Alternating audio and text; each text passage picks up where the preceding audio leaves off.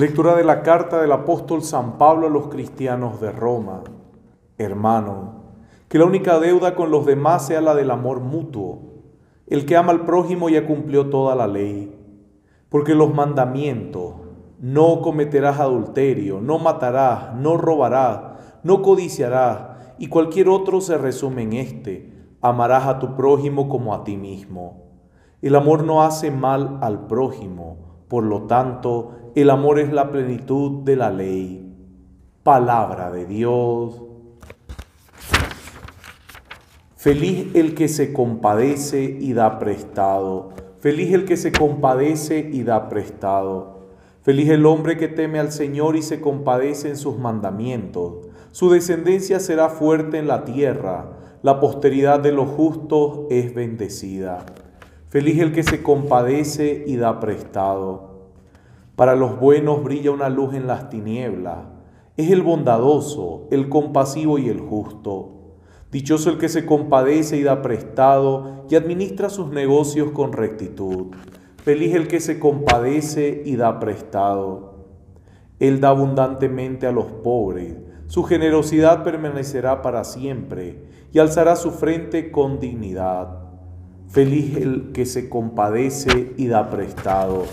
Los invito a ponerse de pie para proclamar el santo evangelio. Aleluya, aleluya, aleluya, aleluya, aleluya. Aleluya, aleluya, aleluya, aleluya, aleluya. El Señor esté con ustedes. Lectura del Santo Evangelio de nuestro Señor Jesucristo según San Lucas. Gloria a ti, Señor. Junto con Jesús iba un gran gentío, y él, dándose vuelta, les dijo, Cualquiera que venga a mí no me ame más que a su padre y a su madre, a su mujer y a sus hijos, a sus hermanos y hermanas, y hasta su propia vida, no puede ser mi discípulo.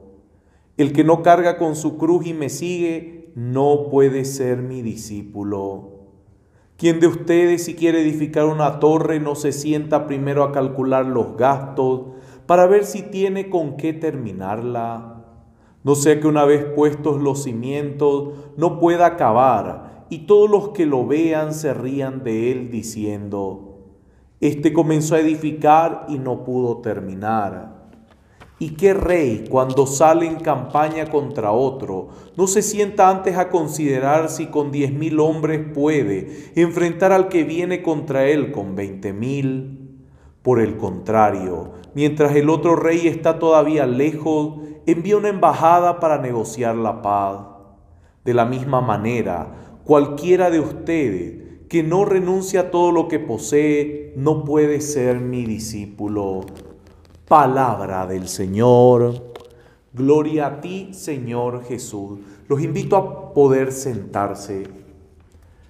Cuando uno lee los evangelios y se encuentra esta parte de renunciar a todo lo que posee, Mucha gente ya automáticamente reacciona a esta idea de la iglesia siempre ve mal lo material. La iglesia rechaza la riqueza. Mire, es una interpretación muy vaga, es incluso hasta una interpretación muy tonta. porque Hay un equilibrio precioso en este tema. Mire, aquí lo que el Señor te está mostrando es que tú no dependas de más nada que no sea Él. Porque hay gente que es muy sencilla materialmente, como hay gente que tiene mucho materialmente, y ambos, queridos hermanos, son grandes servidores del Señor. Pero es porque ambos, ya sea en lo sencillo de su vida o en la opulencia de su vida, saben que su grandeza es Dios. Querido hermano, esto es algo claro, o sea, mi felicidad y mi grandeza es Dios, mi felicidad y mi gozo es Dios, todo lo que tengo así como viene se va, todo lo que tengo es gracias a Dios, todo lo que soy es gracias a Dios, todo lo que pueda lograr en mi vida es gracias a Dios, solamente a Él le pertenezco. ¿Y qué es lo que sucede con las personas que se dan cuenta de esto, de esta grandeza, de que lo son capaces de dejar todo, o sea, de no atarse a las cosas de este mundo, a las personas de este mundo, y son personas más sabias. Mire, una persona que en, en los bienes materiales ve su todo, es una persona conflictiva, porque se dedica a cuidar sus intereses.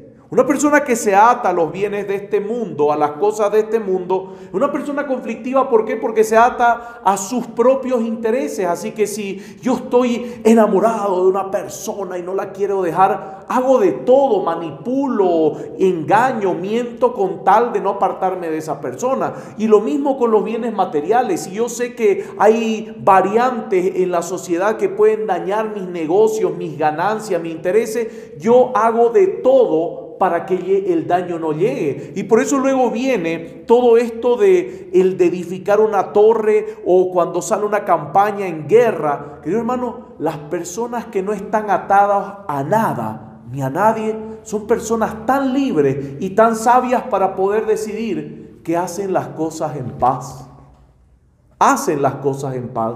Y esa es la enseñanza de Jesucristo. La renuncia a todo es la que nos da la sabiduría para saber encontrar los mejores caminos y no buscar los caminos de mi conveniencia donde daño a los demás. Y ahí se pierde la paz. Porque cuando yo perjudico a otro, querido hermano, le quito la paz. Y si le quito la paz a alguien, me hace la guerra. En cambio, cuando yo no tengo intereses personales en los cuales yo me puedo despojar de personas, de cosas, querido hermano, vivo en paz y sé resolver mis problemas, porque nunca estoy inclinado a los intereses personales, sino que sé que quiero todo en su lugar, todo lo correcto, todo lo justo y todo lo verdadero. Por eso es, querido hermano, que las lecturas de ahora nos hablan de esa capacidad de soltarnos y de no depender de lo creado, sino depender del Creador. ¿Y qué sabiduría más grande? ¿Por qué? Porque cuando yo dependo del Creador, me hago cada vez más grande en las cosas creadas. Así de sencillo. Si yo dependo del Creador, todo lo creado está a mi servicio. Querido hermano, esa es una sabiduría que a muchos les cuesta entender.